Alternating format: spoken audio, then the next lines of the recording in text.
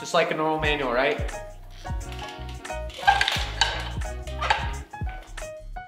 Today we're gonna be doing a fun little project. We're actually gonna be building a manual trainer. So I'm sure a lot of you guys have seen these in the past. Um, for those of you guys who aren't familiar with what a manual trainer is, it's basically an apparatus that you can put your bike in. It'll hold your rear wheel steady and then you can lift the front wheel up and kind of get a feel for that balance point of a manual. I thought it'd be kind of fun. I haven't tried a manual trainer, but uh, I'm gonna build one. I'll kind of give you guys some feedback on what uh, is real with it, like what it actually feels like to manual versus what the trainer feels like and how you can kind of bridge that gap. So let's go ahead and get started. First things first, I'm gonna show you guys what you're gonna need to build this today. So obviously you're gonna need a saw and some wood. Um, I have a little miter saw over here that I'm gonna be using. You don't need a miter saw like that. You could use even a hand saw if you had the motivation to do that. Um, it's a fairly simple process. And so biggest thing is just getting the right materials. So these are the materials I got for this project. So materials wise, you're gonna need two two by sixes. So these are eight feet long each. So two two by sixes at eight feet, and then you're gonna need a two by four at eight feet. You're also gonna need to get a front wheel hook and then a bungee cord to kind of hold your front wheel in place. Probably gonna need a drill, tape measure, and then some screws and a pencil and some safety glasses and uh, maybe some plans. So this is just kind of me helping figure out what I was gonna need. Like I said, two, two by six, eight foot one, two by four. I went with an eight foot one, a hook, a bungee, and some screws. And uh, that's kind of the finished product there. So it looks pretty rough, but we'll do better than that. Let's go ahead and get started. First thing I'm gonna do is cut a 20 inch long two by six section. Um, that's gonna be the brace for the back of the rear wheel, uh, kind of the vertical brace. And then we're gonna go ahead and take the full length two by six, put it on the ground, put the bike on it, and then figure out where that brace is gonna go. So I recommend using the longest bike in your family. Whoever has the biggest bike, that's the one we're gonna use to measure. Um, I got my 29er over there. So we're gonna use that to check it out and see what we can do. So let's go ahead and cut a 20 inch section of this first. All right, so we got our two by six. I measured it out to 20 inches. I put a line there. We're gonna do a quick cut. Before we do any cutting, make sure that you use some safety glasses uh, just to be safe. Um, I have some clear pit vipers that I use all the time. Um, so with that being said, let's go ahead and start cutting. So now that we got this 20 inch piece cut, it's not screwed down or anything, but that's gonna be our back brace. And then we're gonna go on this full length two by six. This is gonna be where our hook is, kind of towards the front. So maybe I'll put a mark there. So let's try to put a mark right around here, just about two inches back from the front. Then we're gonna take our bike and we're gonna put it on the two by six and kind of figure out where that 20 inch piece needs to go.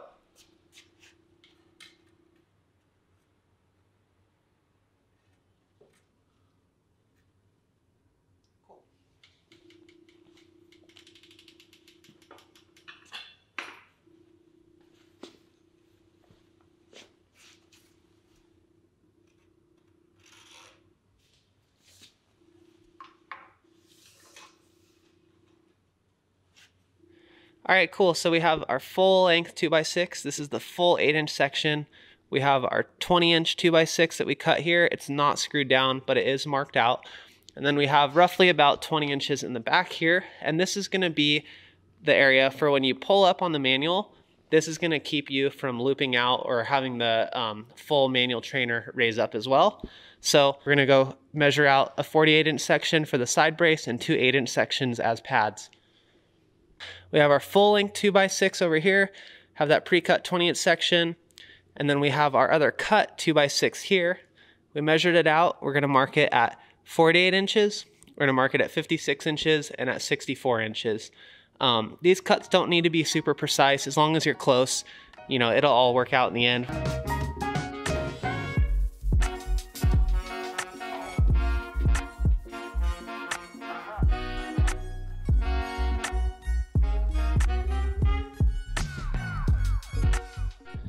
All right, and this is where you're gonna get to do your first bit of drilling. So we just cut our four foot section here, and then we have our two eight inch sections, which are gonna be pads. Um, so what we're gonna just do is make sure that these are flush. Try to get it as flush as possible, right on the end.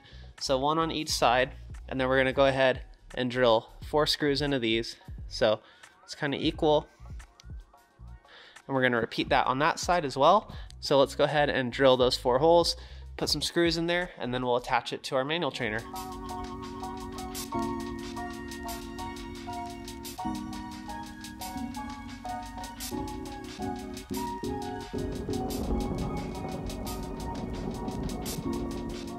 Four holes in there. I got a foot pad over there, all installed. So next we're gonna go ahead, we're gonna take this bad boy. We're gonna lay this down just behind where we had our brace.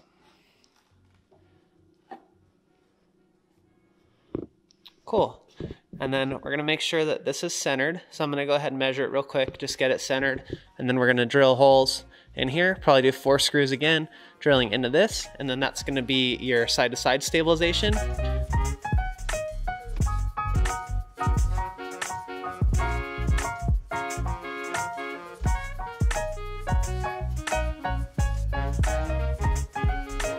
So now that I have one screw installed here, I'm gonna make sure, now that has a little bit of tension on it, I'm gonna make sure that everything is straight and square. So you're gonna kind of look at this, make sure it's square.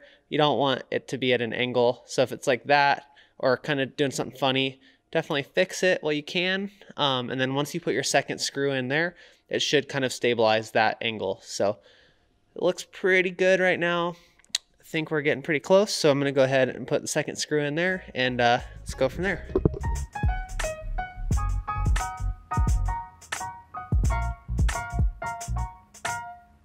At this point, your manual trainer should be pretty stable. So if you grab it and try to shake it, shouldn't move at all, that's a good sign. So from here, what we're gonna do is, um, this piece is still loose, so we're gonna go ahead, put that up against that back brace, and then we're gonna put one or two screws right here in the center.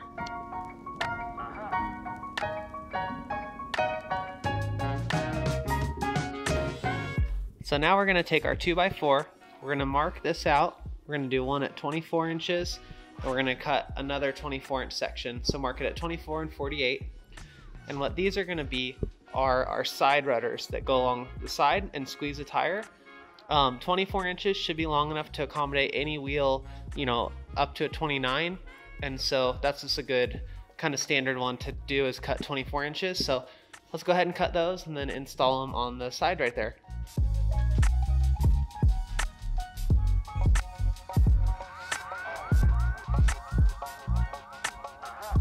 So now you can see this is gonna be where our tire is gonna go. It's gonna go up against that back brace. Um, one thing you can do, like this should fit, you know, a pretty standard 2.5 inch tire. If you have something wider or narrower, then you can kind of um, put your bike in right now and figure out exactly where you need it to squeeze. So say you're on like a little BMX race bike, or say you're on like a fat tire bike, maybe you could kick this out a little bit, get like a 2.8 in there. So this is a good time to experiment. Um, I'm gonna just kind of go ahead, put these on here. My bike's set up for a 2.5 so that should be good. So yeah, I'm gonna go ahead and just make mine flush along the sides. That'll give me pretty much perfect for like a 235, 2.4 tire. It'll squeeze right in there. Um, but if you do need to adjust that, feel free to adjust that now.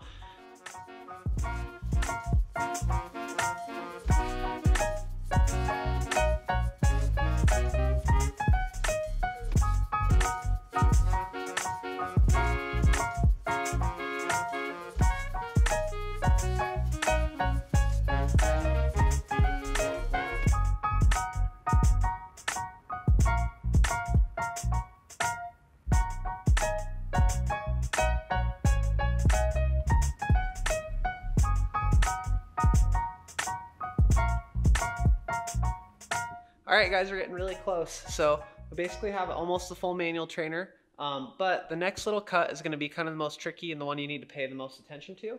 So let's go ahead and take a look at this one.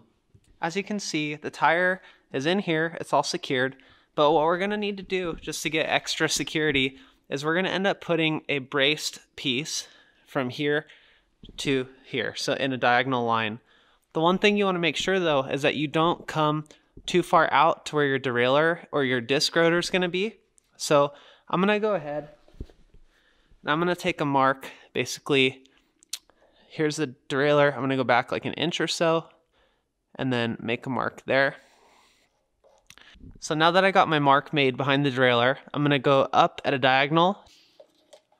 All right, so from here to here, I'm going to do about a 19 inch cut on my 2x4 and then we're going to figure out the angle there.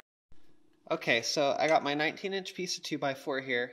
So there's going to be a temptation just to screw it into the side like this, but what we want actually is we want extra bracing here on the tire.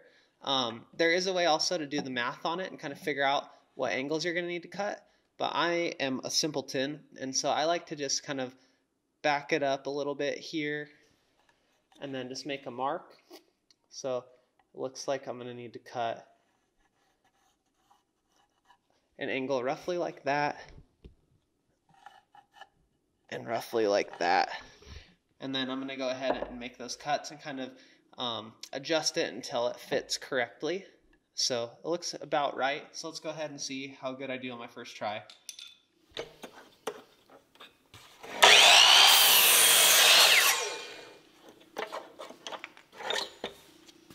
So believe it or not, somehow that worked out pretty much perfect. Um, it's not super ideal. There's a little bit left on the angle there, but that was my jerry rig way of doing it quickly. Um, so I'm going to go ahead, cut the second one. Again, kind of do the same thing. Just line up a 19 inch section that I measured, go ahead and draw an angle and then cut that matching angle and uh, it should be good. And then I'll show you guys what it looks like. But this is the reason that we wanted to do it on the interior is you get a little bit extra bracing on the tire um, so that way it's a little bit stronger and less likely to fall over.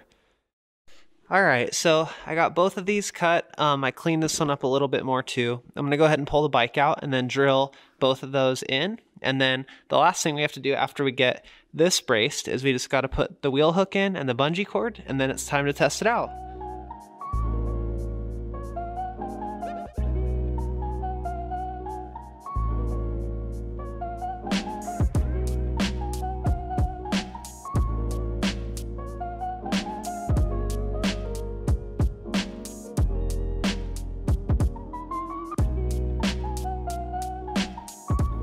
Guys, we're almost done.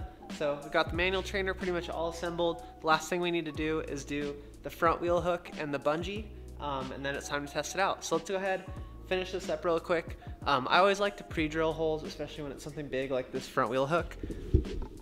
So when it's something like this, where it's a pretty big hole, I like to just pre-drill that. So I made a mark, um, you know, about two inches from the front of the board.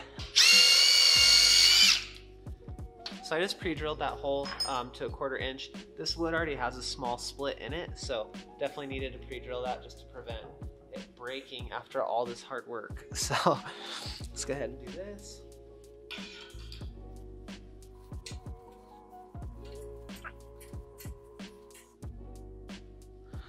That looks pretty good. All right, cool. And then now I got my bungee cord. So I got that. I might just clip this onto one of my spokes. Um, or there's another option of having a small like tie down strap kind of going around your wheel and then clipping this onto it. So let's go ahead and see how it works. All right, I almost forgot the most important part. So right here, where the wheel is, I need to put a block right here. Um, so that way when I go, it doesn't come forward. So sorry, I almost forgot that part. But uh, I'm gonna go ahead and throw one of those in there really quick. So let's do that.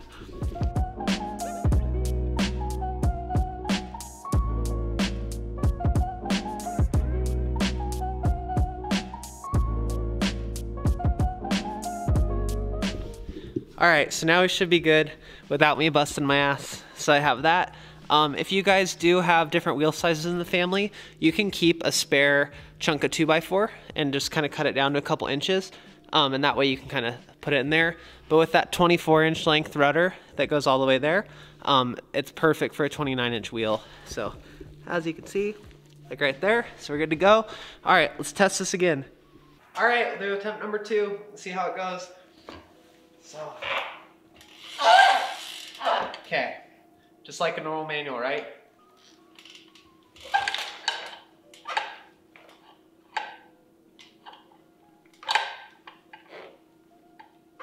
It works. It feels pretty similar actually too. Um, I would say the only difference, it feels really similar actually. Um, the only big difference I can feel right off the bat is uh, on a normal manual, when you're going fast, your wheel is, your cranks are able to move forward and back because you have speed, so you can kind of pedal forward and then back pedal a little bit. Um, since the rear wheel is being held in place here, you can only really back pedal, but the pedals can't go forward. So I would say that if I were to train on this and actually try to learn how to manual on one of these, I would take my chain off. Um, I think that would really help it a lot to make it feel more natural. But yeah, overall it's pretty cool. Um, one other thing I want to show you guys too is that with this design, it's really easy to change out the uh, track for different wheel sizes. So this bike's a 29er and um, I'll show you guys what it looks like to change it out to set up for 27.5 or my 26 inch dirt jumper. So let me grab my other bike really quick.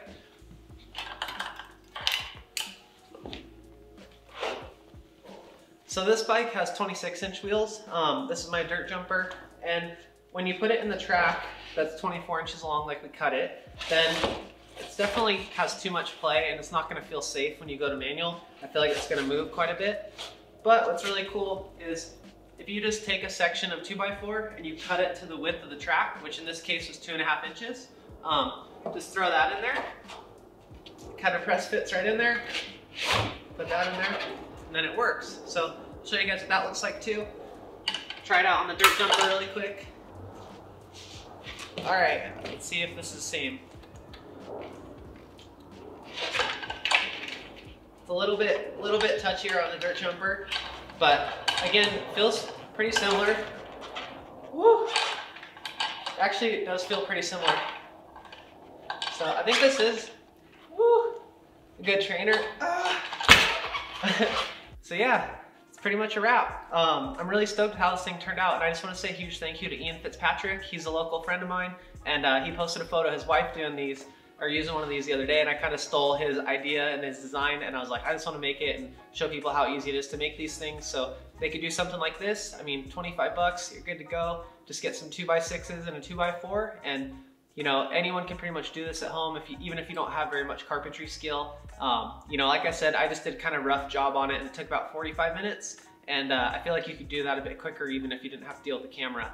So yeah, huge thanks to everyone for watching this. Um, you know, my thoughts are with all you guys and with everyone kind of going through this time right now with the coronavirus. You know, we're all in it together and I have a ton of love and respect for everyone out there and I just hope that everything ends up being okay. And I can't wait to get back out to a normal life and back out to the races later this year. And, um, you know, my thoughts are with everyone that's being affected by it and just trying to figure out some positive ways to fill time during this downtime. And I think that's kind of one of the best things you can do is to stay positive, try to stay busy, but doing positive things and try to just have fun with it while you can because it's really the only option right now.